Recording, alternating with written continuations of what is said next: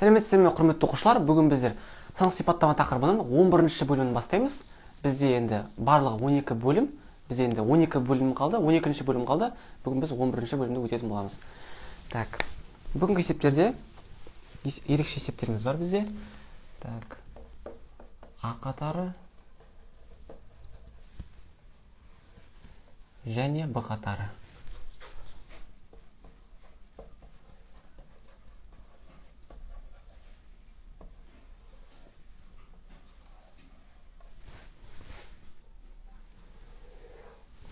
Бірінші есебіміз былай дейді алпыс санын алпыс санын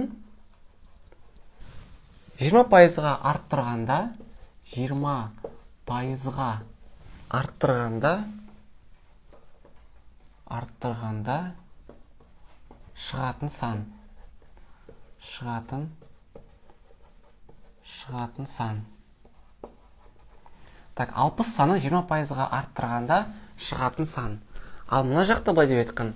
Алпыс санын алпыс санын так он пайызға он пайызға екі рет екі рет арттырғанда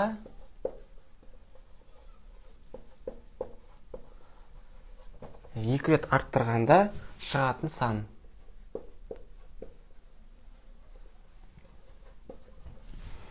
так. Бізде деген мұндай бұған ұқсас есептер болды жалпы. Ә, есеп былай деп тұр. Қараңыздар мұнда деген алпыс санын сразу жиырма пайызға арттырып жібереді. Бірден жиырма пайызға арттырып жібереді. Ал мына жақта деген алпыс санын он пайызға арттырасың сосын тағы да он пайызға арттырасың дейді. Ә, сол кезде деген жалға бірінші он пайызға арттырады содан кейін тағы да он пайызға арттырады. Ә, енді сұрақ мынадай екеуі екеуі бірдей бола ма? Әлде мысалы а қатарлы үлкен бола ма? Әлде б қатарлы үлкен бола ма? Оны біз қазір есептеуде табатын боламыз. Так алпыс саны бізде ол қазіргі уақытта жүз пайыз болып тұр. Біз оны деген жиырма пайызға арттыратын болсақ жиырма пайызға арттыратын болсақ ол бізде жүз жиырма пайыз болады. Бізге қазір 120 пайызы қаншаға тең екенін табуымыз керек. Ол үшін x-ті жүзге көбейтеміз. X көбейтілген 100 тең болады. 60 көбейтілген 120 так сосын жаңағыдай x көбейтілген 100 деп жазамыз. Одан кейін 60 пен 120-ны көбейтеміз. Так 6-ны 12-ге көбейтетін болсам ол менде 72 болады.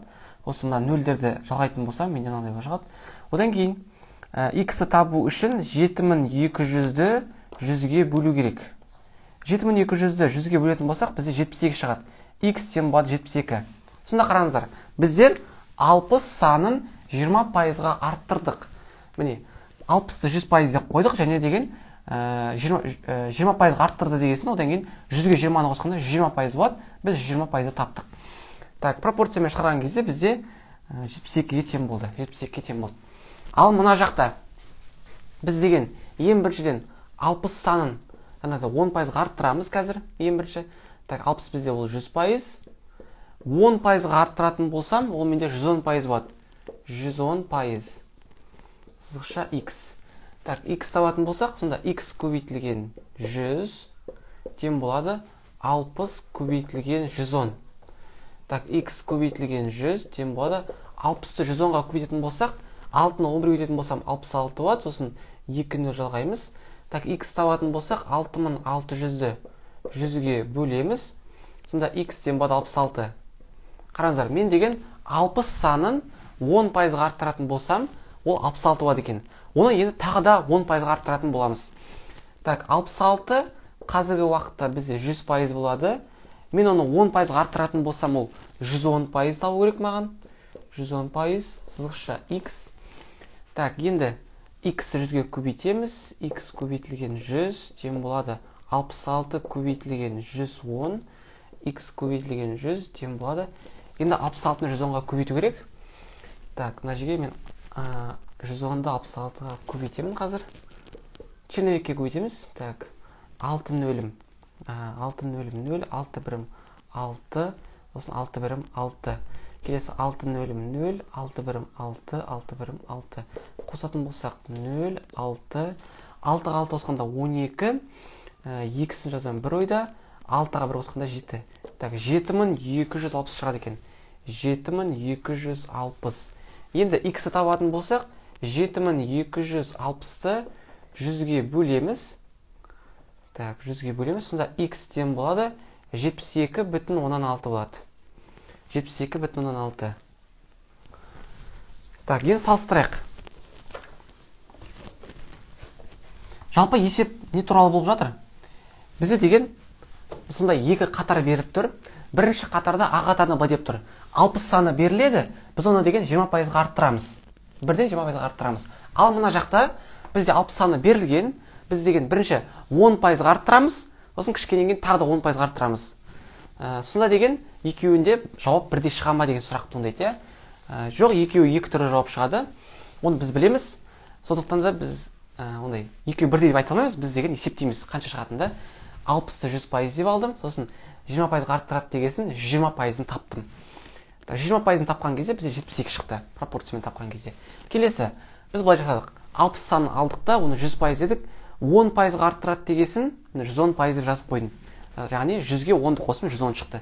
Сосын жаңағы он пайызға арттырған кезде бізде алпыс алты шықты. Сосын алпыс алтыны деген тағы да он пайызға арттырдым. Сол кезде менде жетпіс екі бүтін оннан алты шықты. Біздер деген он пайызға екі рет арттырдық. Біздер он пайызға екі рет арттырдық.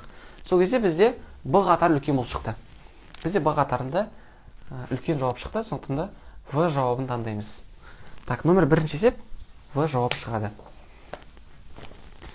так жақсы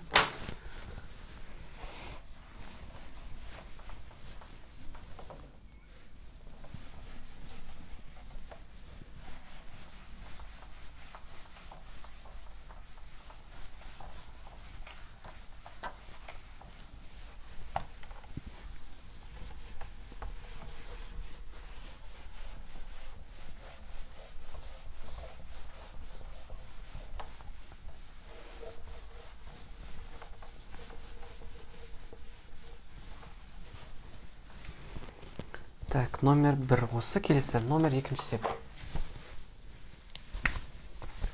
номер екі. Так есеп былай дейді бірден жиырмаға дейінгі сандардың так. Бірден жиырмаға дейінгі дейінгі сандардың бірден жиырмаға дейінгі сандардың барлық цифрларының саны барлық цифрларының барлық цифрларының саны. Мына жақта оннан жиырма тоғызға дейінгі оннан жиырма тоғызға дейінгі оннан жиырма тоғызға дейінгі сандардың сандардың барлық цифрларының саны. Барлық цифрларының барлық цифрларының саны. Так. Осы екі бағанға бөлініп тұр. Бізге айтады енді деген қазір біз бірден бастап жиырмаға дейінгі сандарда барлығы қанша цифр бар екенін есептеуіміз керек. Так мен оны деген мындай қарапайым жайлап жазып көрсетейін. Так мына қараңыздар. Бір екі үш төрт бес алты жеті сегіз тоғыз. Міне тоғыздан сосын мына жақтан он он бір он екі он үш он төрт он бес он алты он жеті он сегіз он тоғыз жиырма. Просто қарапайым түрде көрсетіп жатырмын сіздерге. Сосын оны тезірек шығару жолын көрсетемін. Так біз айтады бірден бастап жиырмаға дейінгі ә, жалпы барлық сандардың барлық цифрлардың саны қанша дейді цифр. Біздер деген цифр мен санды сан, ә, шатастырмауымыз керек. Цифр деген не сан деген не? Цифр деген ол тек қана нөлден бастап тоғызға дейін. Цифр дегеніміз ол нөлден бастап тоғызға дейін. Ал ә, сан дегеніміз ол яғни натурал санды айтып тұр олар деген. Натурал сан дегеніміз ол бірден басталады. Бірден бастап шексіз кете береді. Так енді деген мына жерде қанша цифр бар екенін санайық. Бір екі үш төрт бес алты жеті сегіз тоғыз он он бір он екі он үш он төрт он бес он алты он жеті он сегіз он тоғыз жиырма жиырма бір жиырма екі жиырма үш жиырма төрт жиырма бес жиырма алты жиырма жеті жиырма сегіз жиырма тоғыз отыз отыз бір. Так отыз бір. Так отыз бір цифр шығып тұр да? отыз бір цифр. Так тағы бір есептеп көрейін. Мына жерде деген ә, так он он бір жиырма екі жиырма екі тоғыз қосқанда дұрыс отыз бір. Так жақсы енді мына жақта. Оннан бастап жиырма тоғызға дейінгі сандардың барлық цифрлардың саны. Так ерінбей жазамыз бәрін. он он бір он екі он үш он төрт он бес он алты он жеті он сегіз он тоғыз жиырма жиырма бір жиырма екі жиырма үш жиырма төрт жиырма бес жиырма алты жиырма жеті жиырма сегіз жиырма тоғыз. Оннан бастап жиырма тоғызға дейінгі бәрін жазып қойдым. Енді деген цифрдан санау керек. Бір екі үш төрт бес алты жеті сегіз тоғыз он он бір он екі он үш он төрт он бес он алты он жеті он сегіз он тоғыз жиырма. жиырма бір жиырма екі жиырма үш жиырма төрт жиырма бес жиырма алты жиырма жеті жиырма сегіз жиырма тоғыз отыз отыз бір отыз екі отыз үш отыз төрт отыз бес отыз алты отыз жеті отыз сегіз отыз тоғыз қырық. Мына тең бізде қырық цифр шығып тұр. Қырық цифр. Сонда біз деген кәдімгі бір қарапайым жолмен кәдімгідей санап бәрін есептедік та мына жақта отыз бір цифр шығып тұр мына жақта қырық цифр шығып тұр. Так сонда біздер деген в қатарын таңдаймыз біз в жауабын таңдаймыз. Себебі қырық цифр көп қой иә так енді деген оны ә, жылдам табудың жолы мынандай. Жылдам табудың жолы мынандай. Жылдам табу дегенде былай мысалы. Бірден бастап тоғызға дейін тоғыз цифр бар дейміз. Мына жерде тоғыз цифр бар. Сосын деген жаңағы оннан бастап жиырмаға дейін бізде қанша сан бар қанша сан бар бізде мына жерде он, он бір сан бар он бір. Мына жерде он бір сан бар бір екі үш төрт бес алты жеті сегіз тоғыз он он бір сан бар он бір санның әрқайсысында екі цифрдан болады мысалы. Мына жерде мына жерде бізде екінші қатарда он бір сан бар әр санда екі цифр болады. Сонда он бірді екіге көбейтетін болсам менде сонда жиырма екі цифр шығады. Жиырма екі цифр. Сонда тоғыз цифрға жиырма екі цифр қосатын болсам менде отыз бір цифр шығады. Так мына жақта. Енді деген мына жерде оннан бастап жиырма тоғызға дейін қанша цифр бар деген сұрақ туындайды да мысалы да? Так оннан бастап он тоғызға дейін он сан бар жиырмадан бастап жиырма тоғызға дейін он сан бар. Барлығы мына жерде он сан мына жерде он сан екеуін қосқанда бізде жиырма сан бар жиырма санның әрқайсысында екі екі цифрдан болатын болса жиырманы екіге өтеміз бізде қырық цифр шығып тұр. Осылай ауызша солай болады немесе егер қателесіп кетемін деп ойласаңыз онда деген осылай тез тез тез жазып бәрін осылай санайсыз санайсыз бәрін. Осылай да табуға болады так. Ауызша да табуға болады немесе жазып санап санап та табуға болады так. ең бастысы дұрыс болса болды.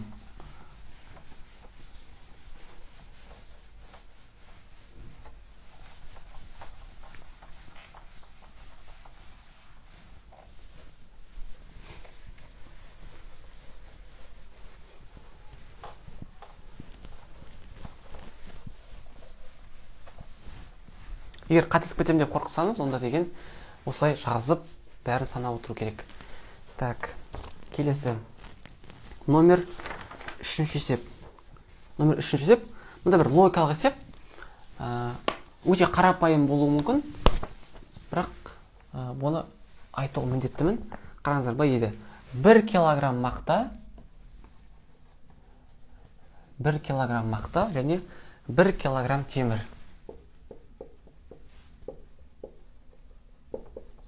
Логикалық сұрақ бір килограмм мақта ауыр ма әлде бір килограмм темір ауыр ма деген сұрақ та. Екеуін деген ә, қараңыздар екеуі де бір килограмм деп тұр ғой. Екеуі де бір килограмм. Екеуі де бір килограмм сондықтан да деген екеуінің салмақтары бірдей. Екеуі де бір килограмм. Сондықтан да біз бұл жерде с жауабын таңдаймыз. Себебі а қатары мен б қатары бірдей. Екеуі бірдей. Ол деген мына жерде мақта ма су ма басқа бір нәрсе ма. Әйтеуір екеуінде салмағы бірдей. Екеуі де бір килограмм деп жазылып тұр. Сондықтан да біз а қатары мен б қатары бірдей екеуі тең деп айтамыз да сондықтан да с жауабын белгілейміз. Екеуі бір біріне тең. Так. Сондықтан да мына сұраққа еще ойланбай сразу жауап береміз. Мындай сұрақ болатын болса бірден жауап береміз.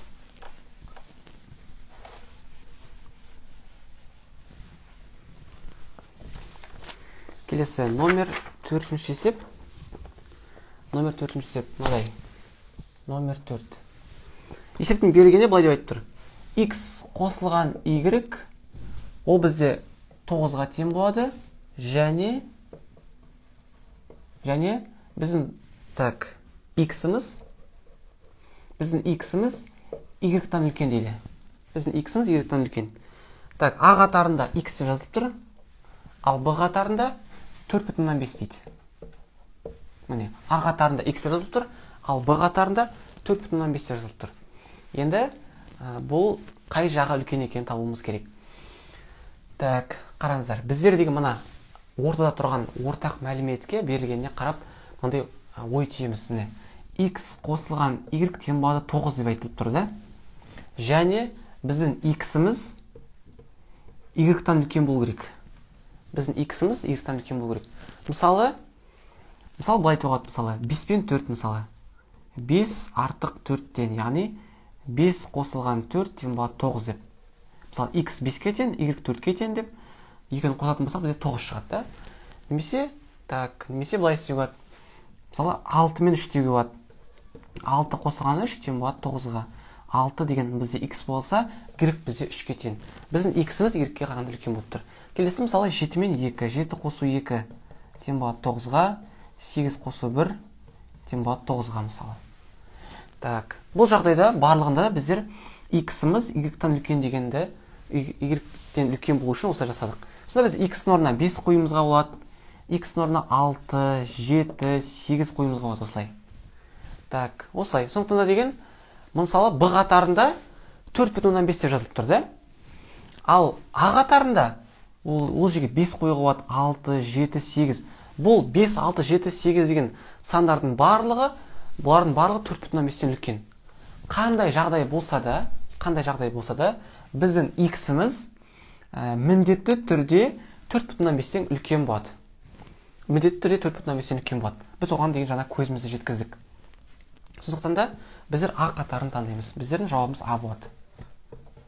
Біз а жауабын таңдаймыз. Себебі қандай жағдай болса да біздің иксіміз міндетті түрде төрт бүтін оннан бестен үлкен болып тұр. Яғни бес алты жеті сегіз деген сияқты. Басқа да сандарды қоюға болады мысалы. Так мысалы деген бүйтіп айтуға болады мысалы ондық бөлшектемесі істеуге болады. Икстің орнына төрт бүтін алты қоясың ал y-тің орнына төрт бүтін оннан төрт қоясың. Екеуін қосатын болсаң тоғыз шығады. Біздің деген төрт бүтін оннан алты деген санымыз ол төрт бүтін оннан төрттен үлкен. Және екеуін қосатын болсақ бізде тоғыз шығады. Демек x-тің орнына мысалы төрт бүтін алты қоюға болады. Бәрібір бәрібір ол төрт бүтін бестен үлкен ғой иә. Төрт бүтін алты ол төрт бүтін бестен үлкен. Сондықтан да мына жерде x-тің орнына қандай сан қойсақ та бәрібір ол төрт бүтін бестен үлкен болып тұр. Сондықтан да біз а жауабын таңдаймыз. Так номер төртіншісі осы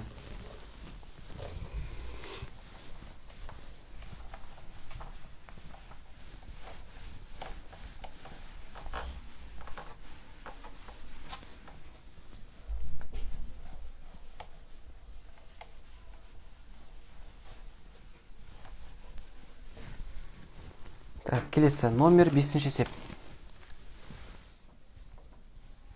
номер бесінші есеп так есеп мынадай бір дәптер жүз теңге ал қарындаш елу теңге тұрады. Так бір дәптер. Бір дәптер жүз теңге. Бір дәптер жүз теңге ал қарындаш ал қарындаш елу теңге тұрады. Бізге айтады жаңа бір дәптер жүз теңге тұрады ал қарындаш елу теңге тұрады дейді. Осыған байланысты біз салыстыруымыз керек. Мына жерде айтады бес дәптер екі қарындаштың бағасы бес дәптер екі қарындаштың бағасы. Ал мына жақта төрт дәптер төрт дәптер үш қарындаштың бағасы.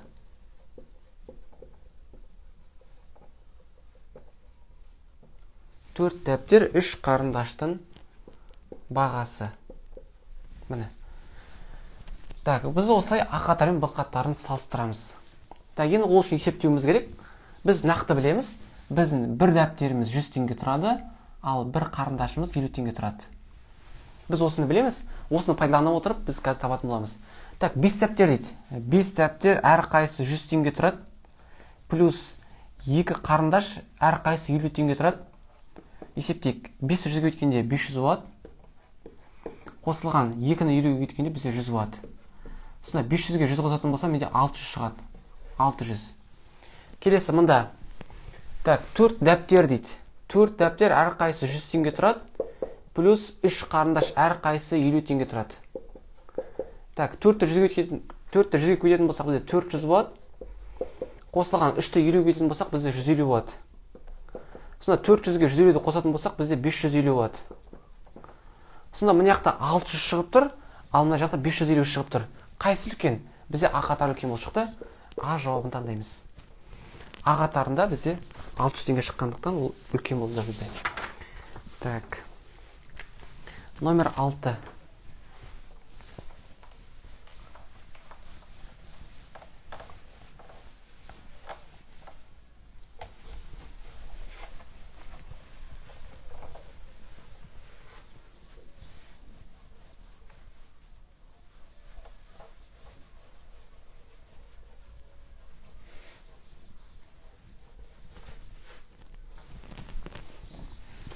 Так номер алтыншы есеп. Номер алты.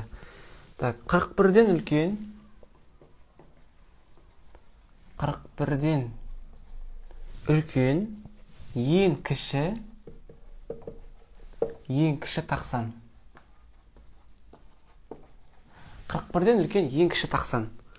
Ал мына жақта қырық төрттен кіші. қырық төрттен кіші. Қырық төрттен кіші ең үлкен тақсан. Ең үлкен тақсан. Так біз былай жасайық. Қырық бірден үлкен болатын міне қырық бірден үлкен болатын тақсандар жазайық қырық бірден үлкен болатын тақсандар. Так олар бізде қырық үш қырық бес қырық жеті қырық тоғыз деген сияқты сандар да ары қарай кете береді. Шексіз кете береді. Енді солардың ішіндегі жаңағы қырық бірден үлкен тақсандардың ішіндегі ең кішісі қайсысы? Ол қырық үш. Ол бізде қырық үш ең кішісі қырық үш. Және так қырық төрттен кіші тақсандар. қырық төрттен кіші тақсандар. Олар бізде қырық үш қырық бір отыз тоғыз отыз жеті отыз бес деген сияқты сандар. Осылар да сол қырық төрттен кіші болу керек иә? Тақсан болу керек. Енді солардың ішіндегі ең үлкенін табуымыз керек. Ең үлкенін. Ең үлкені осылардың ішінде ең үлкені қайсысы? Ол қырық үш ең үлкені қырық үш сондықтан да бізде а қатарында да б қатарында да екеуінде бірдей жауап шықты екеуінде де қырық үш шықты. Негізі деген берілгендері жаңағы берілгендері әртүрлі болды бірақ жауаптары бірдей болды да? Сондықтан біз бұл жерде жауаптары бірдей болса с жауабын белгілейміз. Жауаптары бірдей болса с жауабын белгілейміз.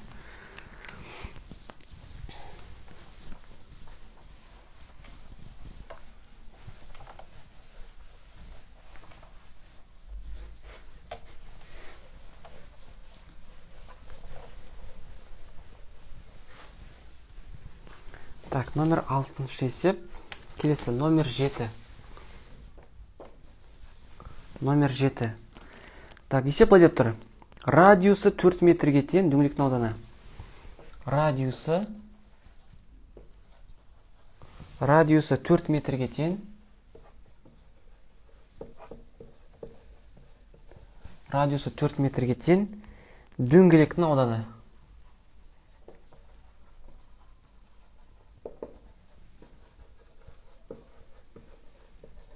радиусы 4 метрге тең дөңгелектің ауданы және диаметрі диаметрі 4 метрге тең. Диаметрі 4 метрге тең дөңгелектің ауданы.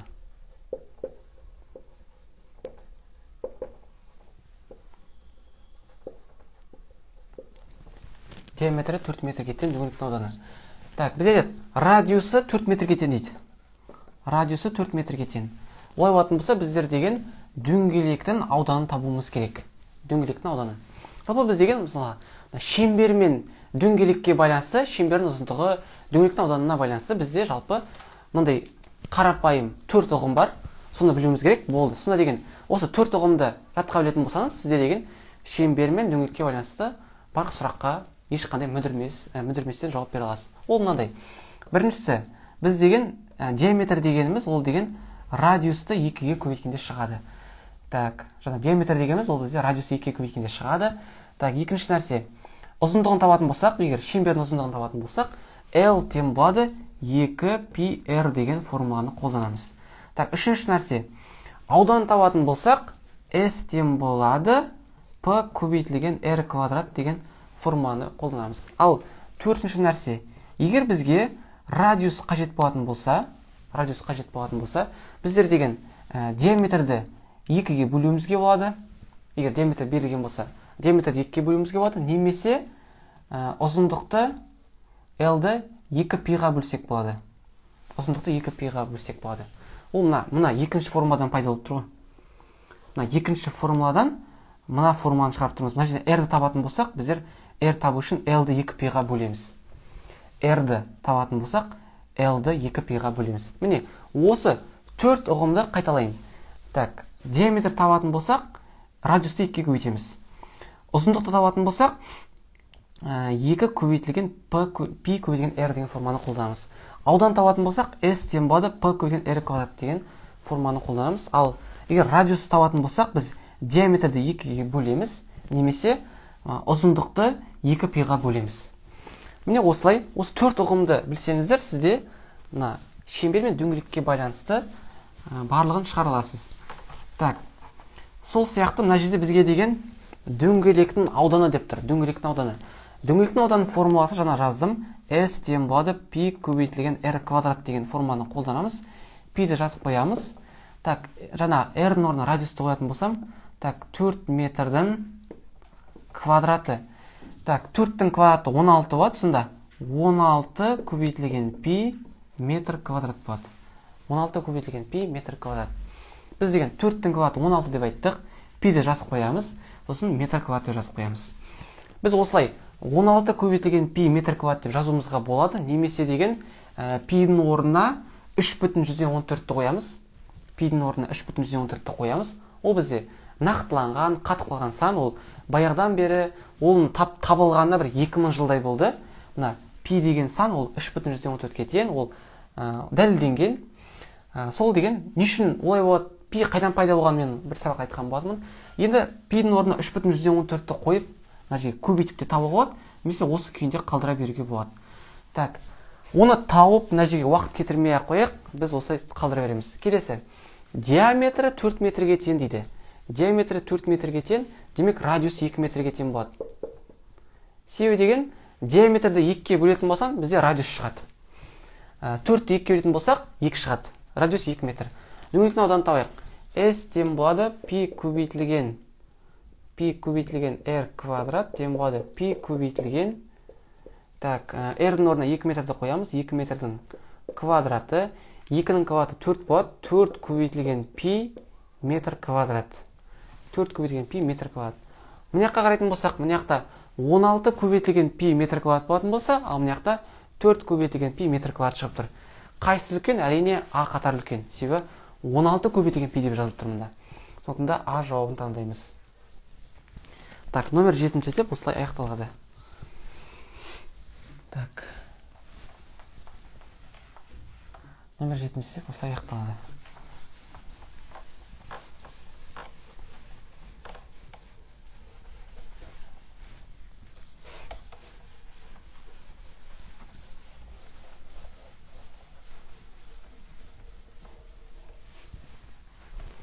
Так номер жетінші есеп болдық. Келесі.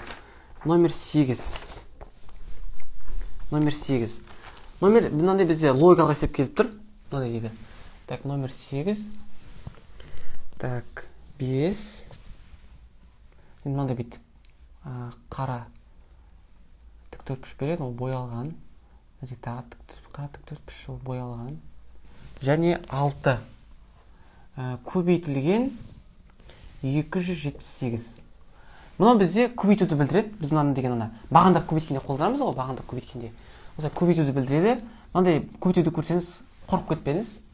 Біздер көбейтуді осылай мынандай крестик сияқты жасаймыз немесе деген андай нүкте ретінде де жасаймыз ғой иә. Мындай көбейту көрсеңіз қорықпаңыз ол бізде көбейтуді білдіреді. Так сонда айтады осындай екі сан так екі сан қара түспен жабылған. Қара түспен жабылған. Яғни былай деп айтып тұр. Мына жер деген қараңыздар екі сан қара түспен жабылған дейді. Екі сан қара түспен жабылған. Мына жерде қап қара болып тұр ғой. Сол мына жерге мына жерде негізі бір сандар бар. Бірақ белгісіз қандай сандар екені мына жерде мысалы мысалы нөл тұратын шығар мына жерде мысалы бес тұратын шығар да ол белгісіз. Ә, осы жерде екі сан бар дейді ол бірақ көрсетілмеген қандай сандар екені жақсы. Келесі мына жақта дейді. Жүз қырық екі мың жүз қырық екі мың бес жүз сегіз. Жүз қырық екі мың бес жүз сегіз. Біз осы екі жағын салыстыруымыз керек. Қайсысы үлкен? Былай қарасақ мына жерде білмейміз. Мына жерде қандай сандар тұрғанын білмейміз ғой иә? Қандай сандар тұрғанын білмейміз. Ал мына жерде жүз қырық екі мың бес жүз сегіз дейді. Бұл енді логикалық есеп. Логикалық есеп қараңыздар. Бізде деген мына мына жерде мына қарамен жауып тұрған жерлерде мындай сандар тұруы мүмкін. Мысалы тоғыз тұруы мүмкін ше тоғыз тоғыз сегіз сегіз мысалы. Немесе бес пен төрт үш алты жеті сегіз деген сияқты әйтеуір неше түрлі сандар бола береді. Ол қатып қалған мына сан мына сан тұрады мына сан тұрады деп айта алмаймыз. Енді бірақ ә, қалай ойлайсыз дейді? А қатары үлкен ба б қатары үлкен ба б қатарында нақты айтылып тұр. Жүз қырық екі мың бес жүз сегіз дейді. Ал а қатарында ше? Мына жерде мына қараның орнына деген біз самый ең кішкентай не қоюға болады мына жерге? Мына жерге ең кішкентай деген кезде қайсысын қоюға болады мысалы? Енді тоғыздарды қоюға болады тоғыз тоғыз тоғыз сегіз жеті алты деген сияқты қоюға болады бірақ енді ең кішкентайын қояйық ол нөл да мына жерге нөл қоямын мына жерге нөл қоямын. Сонда деген менде шығады. Бес нөл нөл алты яғни бес мың алты көбейтілген екі жүз жетпіс сегіз. Бес мың алты көбейтілген екі жүз жетпіс сегіз. Егер мен бес мың алтыны екі жүз жетпіс сегіз екі жүз жетпіс сегізге көбейтетін болсам так бес мың алты көбейтілген екі жүз жетпіс сегіз. Көбейтіп көрейік қанша шығатын да? Так сегіз алтым қырық сегіз. Сегізін жазамын төрт ойда сегіз нөлім нөл төрт төртті қойсамыз. сегіз нөлім нөл сегіз бесім қырық. Келесі. Так мында. жеті алтым жеті алтым қырық екі. екісін жазамын төрт ойда. жеті нөл нөл төрт жазамыз. жеті нөл нөл жеті бесім отыз бес. Келесі. екі алтым екі алтым он екі. екісін жазамын бір ойда. екі нөлім нөл бір қоям. екі нөлім нөл. Так сосын екі бесім он. Бәрін қосайық. Сегіз алты алты бір тоғыз үш. Сосын так мынау бізде мынанікі ғой да? Так так былай былай былай былай. Үш нөл. Сосын бір. Бізде мынандай шығып мынандай сан шығып тұр сонда бір миллион үш жүз тоқсан бір мың алты жүз алпыс сегіз. Бір миллион үш жүз тоқсан бір мың алты жүз алпыс сегіз. Бізде деген а қатарында мына қараның орнына ең кішкентай нөл қойғанның өзінде мына жерге мына жерге нөл мына жерге нөл қойғанның өзінде бізде бір миллионнан артық сан шығып тұр бір миллионнан артық. Ал мен мына жерге деген нөл емес мысалы бір қоятын болсам екі қоятын болсам үш қоятын болсам одан да үлкен сан шығады. Сегіз қоятын болсам одан да үлкен сан тоғыз қойсам кәдімгі үлкен сан шығады да. Біз бірақ деген самый кішкентай нөлді қойып қарадық. Нөлді қойғанның өзінде мына жерге мына жерге нөл мына жерге нөл қойғанның өзінде ең аз ең кішкентай деп қойған өзінде бізде бір миллион үш жүз тоқсан бір мың алты жүз алпыс сегіз шығып тұр. Ал енді мына жерге одан да үлкен сан қоятын болсам одан да үлкен сандар шыға береді да. Сондықтан да қандай жағдай болса да қандай жағдай болса да бізде а қатары үлкен болып тұр. Бізде қандай жағдай болса да а қатары үлкен. Сен мына жерге деген қандай сан қойсаң да нөл қоясың ба тоғыз қоясың ба жеті қоясың ба любой сан қоя бер бәрібір а қатар үлкен болады сондықтан да біз а жауабын таңдаймыз мына жерге а жауабы деп қоямыз мінекей мінекей а жауабын таңдаймыз болды так біз мына жерге қандай сан қойсақ та бәрібір ол б қатарынан міндетті түрде үлкен болады міндетті түрде. Андай кіші болып қалады дейтін жағдай жоқ. Ондай мүмкін, мүмкін емес. Біз себебі барынша кішкене санды қойып барынша нөл қойып есептеп қарап едік бізде миллионнан үлкен сан шықты. Біз сондықтан да сенімді түрде а қатар үлкен деп айта аламыз. Так номер сегізінші есеп осы. Мүмкін кейбіріңіз бірден түсінген боларсыздар бірақ асықпай ә, түсіндірдім есепті. Так номер тоғыз. Номер тоғыз. Номер тоғыз есепте тағы да бір мынандай логикалық есеп келіп тұр. Былай дейді. X және y x және y он сандар.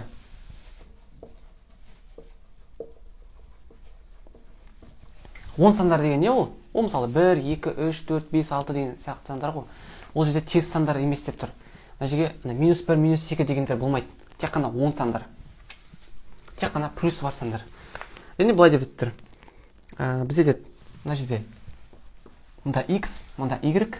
Және ортада мынандай мәлімет беріліп тұр тағы да так мынаны кетіріп тастаймын бізде мынандай мәлімет беріліп тұр так бізде былай мәлімет беріліп тұр x кем x қосылған y бөлінген 3 x кем x қосылған y бөлінген 3 міне біз осы мәліметті қолдана отырып x үлкен ба әлде y үлкен ба соны табуымыз керек.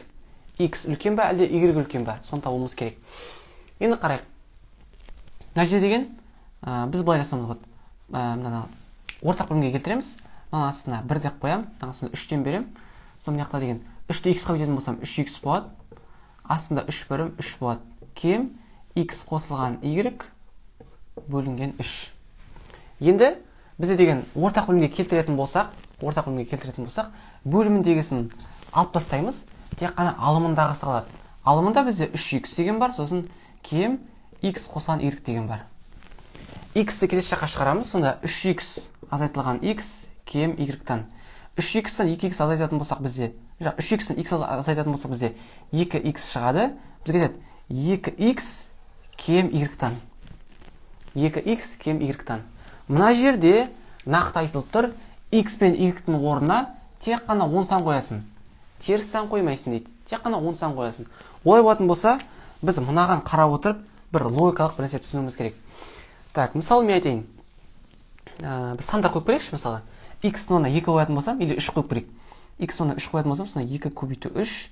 Так кем мысалы жетіден да мысалы. Кем жетіден. Екі үшім алты. Алты ол кем болады жетіден. Сонда үш пен жетіні салыстырып көрейікші. Мен x-тің орнына үш қойдым.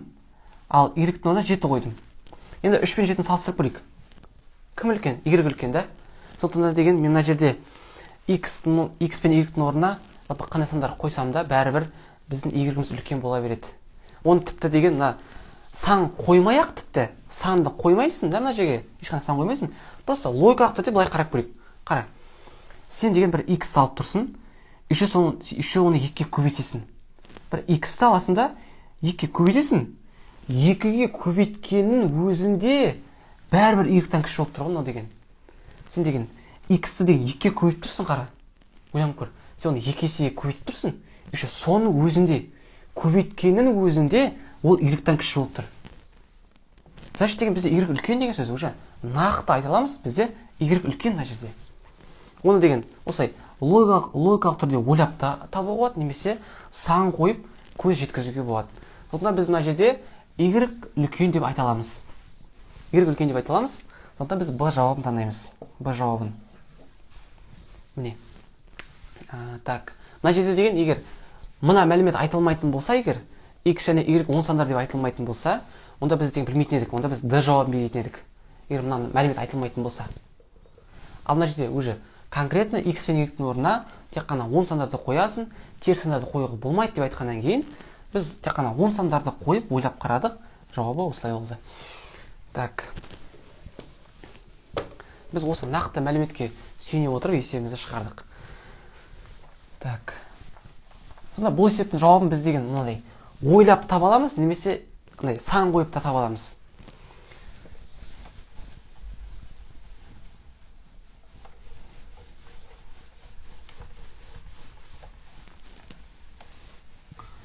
Так номер тоғыз аяқталды. Келесі номер он. Тағы да бір логикалық есеп келіп тұр. Есеп мынадай?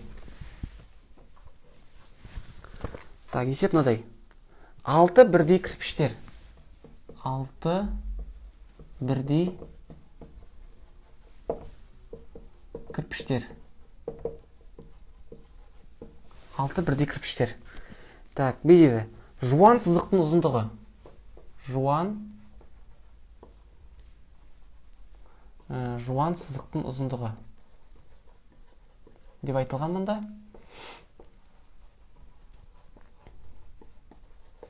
Ал б қатарында деп айтылған. Так алты көбейтілген ой. Так алты көбейтілген h қосылған. Үш көбейтілген l. Осылай беріп тұр. Көбейту мына жерде. Крестик тұр ғой көбейту алты көбейту h және қосылған үш көбейту l дейді. Және бізде деген ортада мынандай сурет беріліп тұр. Мынандай үш кірпіш а так алты кірпіш беріп тұр. Қараңыздар мындай кірпіштер. Так мына жерге үлкен қылып салайын.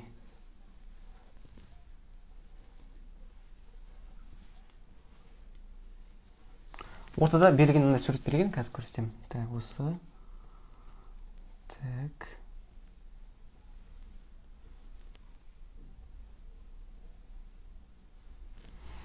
осылай сурет берілген және деген мына жердегі ұзындығы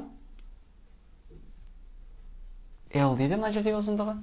Ал мына жердегі биіктігі ол h. Биіктігі h. Және жуан сызық деп тұрған мына жерде мына бүйтіп айтылған. Мына жердегі жуан сызық бояп қояйын бүйтіп.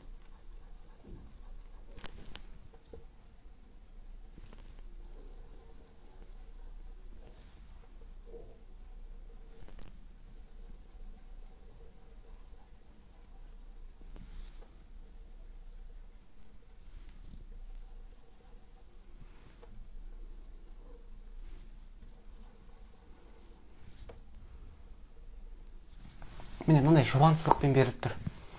Бізге айтады мына жуан сызықтың ұзындығы қандай болады? Немесе мына алты көбейтілген h қосылған үш көбейтілген l қайсысы үлкен болады? деп сұрақ қойып тұр бізге. Қайсысы үлкен болады? дейді. Біз соны табуымыз керек. Қайсысы үлкен болады? дейді. Так енді былай есептейміз енді. Так. Ә, жуан сызықты қарап көрейік. Жуан сызық былай жасап көрейік. Так енді қызылмен жазайын. Так мына жері бізде мысалы. Мына жер h та. Ну h. Мына жердегісі h. Мына жердегісі h болады h h. Және h та. Неше h бар мына жерде? Алты көбейтілген h та. Алты көбейтілген h. Міне. Мен жуан сызықты есептеп жатырмын. Қанша болатынын. Енді l-ді есептеп көрейік. L-дың деген ана мына жеріндегісін есептейтін болсақ мына жер l-ға тең ғой. Қараңыздар мына жердегі кішкентай бөлігі мен мына жердегі кішкентай бөлігі ол екеуі l болады. Бір, бір тұтас l деп алуға болады. Мына жерін l деп алуға болады. Сосын мына жерін l деп аламыз. Сонда деген бізде үш l бар. Үш l. Қосылған үш көбейтілген l. Сонда екеуінің а қатар мен б қатар бірдей болып шықты бізде. А қатар мен б қатар бірдей болып шықты. Так есеп тағы бір рет ә, айтып жіберейін. Есеп былай болды міне. Номер оныншы есеп бізде былай деп айтты. Алты бірдей кірпіштер деп айтқан сосын мынандай сурет берілген. А қатарында жуан сызықтың ұзындығы деп айтылған ал б қатарында алты көбейтілген h қосылған үш көбейтілген l деп айтылған. Басқа дым айтылмаған. Салыстыру керек қайсысы үлкен деген сияқты да. Біз сосын былай жасадық. Міне жуан сызықты көріп тұрмыз. Және былай деп айтылған. Мына жердегі мына ұзын бөлігі ұзындығы l болатын болса ені h-қа тең. Ені h-қа тең. Енді біз жуан сызықты есептеуіміз керек қой. Есептейміз ғой. Мына жері h h мына жері h мына жері h мына жері h мына жері h. Міне неше h бар мына жерде? Бір екі үш төрт бес алты. Алты аш бар. Сондықтан да алты көбейтілген аш деп жазып қойдым. Енді л нешеу? Л міне мына жері л енді оны деген любой адамға көрініп тұр мына жер л екені да. Ал енді мына жері мына жері тоже л. Себебі деген мына құттай бөлікпен мына құттай бөлікті қосатын болсаң сенде бір л шығады. Мына жарты жартыдан екеуін қосқан кезде бір л шығады. Сосын мына жердегі жарты мен мына жердегі жарты ол да бір л болады. Сонда деген үш көбейтілген л деген сөз. Сонда қарайтын болсақ екі жағы бірдей көрдіңіз ба алты көбейтілген аш қосқан үш көбейтілген л мына жерге жақшаны жазсақ та жазбасақ та екеуінің мағынасы бірдей. Жақшаны жазсаң да жазбасаң да бәрібір. Себебі деген бірінші көбейту орындалады ғой міндетті түрде сондықтан да мына жерде жақшаның маңызды маңыздылығы жоқ. Бірақ енді қойып қойдым оны қойсам да қоймасам да ешқандай айырмашылығы жоқ. Так сонда деген біздерде екі жағы бірдей болып шықты да. Біз с жауабын таңдаймыз. Себебі бізде а қатары мен б қатары бірдей болып шықты. А қатары мен б қатары бірдей. Так номер оныншы деп осылай аяқталады.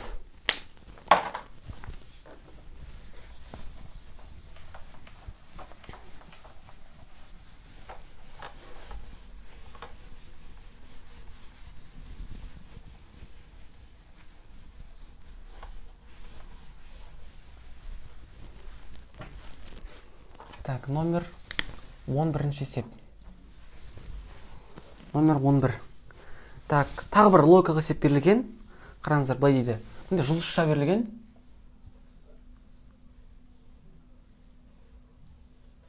Жұлдызша тағы бір жұлдызша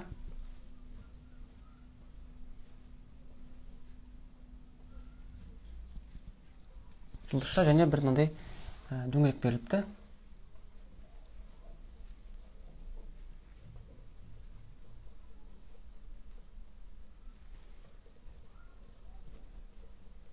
Іштерін бояп қойдым. Сосын мында боялып тұр себебі. Сосын а қатарына былай дейді. Ә, жоғарыдағы суретке жоғарыдағы так бүйтіп бөліп қояйын бүйтіп. Так жоғарыдағы суретке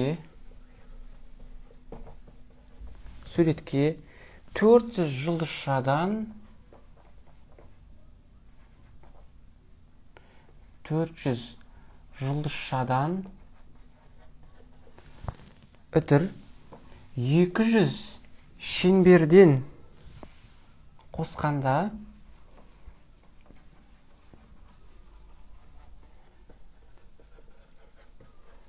екі жүз шеңберден қосқанда жұлдызшалардың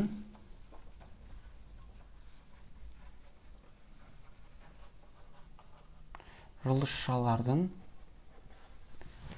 шеңберлерге қатынасы.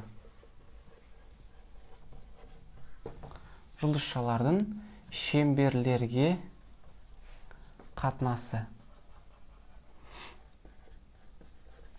Так б қатарын қарайық. Так жоғарыдағы суретке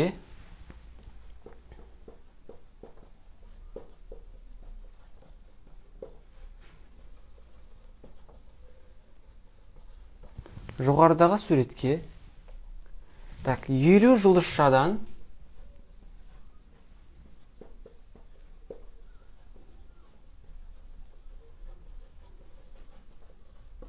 елу жұлдызшадан жиырма шеңберден қосқанда жиырма шеңберден қосқанда қосқанда жұлдызшалардың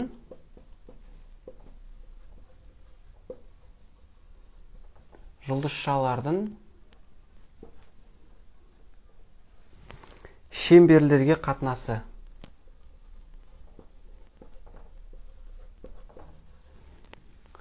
Жұлдызшалардың шеңберлерге қатынасы так енді осы екі жағын біздер қазір салыстыратын боламыз.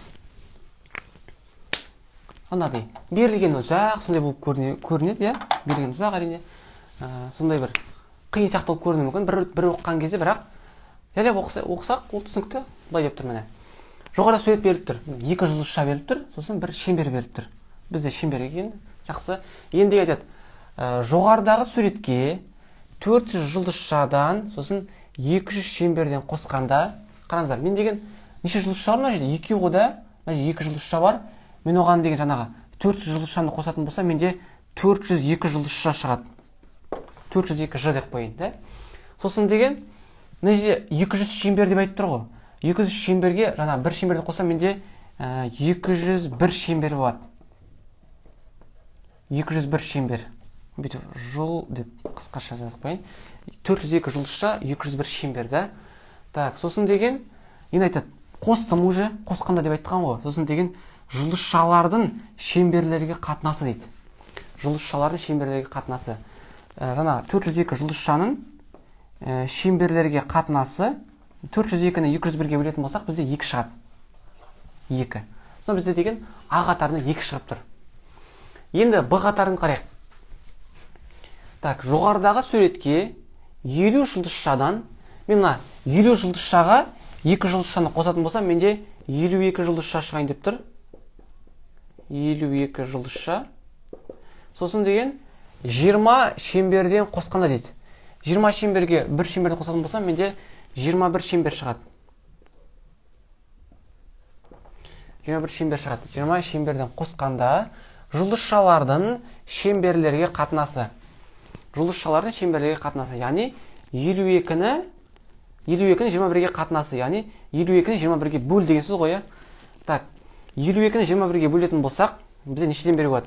Мынау деген екі бүтін жиырма бірден так мынау деген қырық екі қырық екі так он.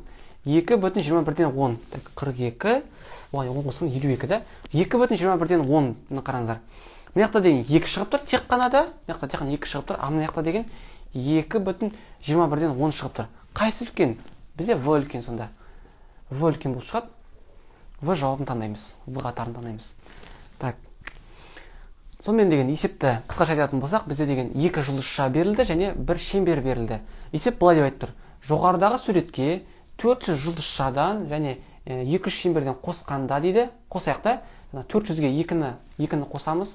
Төрт жүз екі жұлдызша болады. Екі жүз шеңберге бір шеңбер қоссам екі жүз бір шеңбер болады. Қосып алдым қосқанда деп айтты ғой. Сосын жұлдызшалардың шеңберлерге қатынасы дейді. Жаңағы төрт жүз екіні екі жүз бірге бөлдім екі шықты. Мына жақта қарайық? Жоғарыдағы суретке елу жұлдызшадан яғни елу жұлдызшаға екі жұлдызша қоссам елу екі жұлдызша болады. Сосын деген жиырма шеңберден қосқанда дейді. Жиырма шеңберге бір шеңбер қоссам жиырма бір шеңбер болады. Сосын олардың жұлдызшалардың шеңберлерге қатынасы дейді. елу екіні жиырма бірге бөлеміз. Сонда бізде деген екі бүтін жиырма бірден он шығады. Яғни бізде в қатары үлкен болып шықты біз в жауабын таңдаймыз. Так он бірінші есеп осылай аяқталды.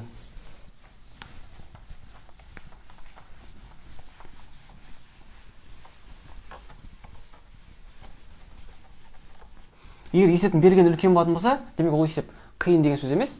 Просто ол деген сөйтіп ә, есеп берген ұсақ болып кішкене қорқынышты болып тұрады.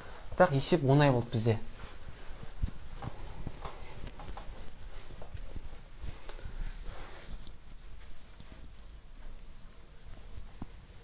Так он бірінші есеп аяқталады. Келесі он екі. Так он екінші есеп тағы да бір логикалық есеп былай дейді. Пицца. Пицца. Центрінен. Центрінен. X бөлікке. X бөлікке y кесінділермен y кесінділермен бөлінген. Так мына x деп тұр мына y деп тұр. Біз мына есепті шығару үшін біз мына қарапайым бір мынандай ә, бір ережені көрейік. Қарапайым бір мысалды көрсетейін сіздерге. Мысалы пиццаны алайық та. Сіздер пицца жейін деп жатырсыз. Енді бізге деген бұны неге неше бөлікке бөлейік? Мысалы ә, мысалы сегіз бөлікке бөлейік мысалы. Сегіз бөлікке бөліп қарайық.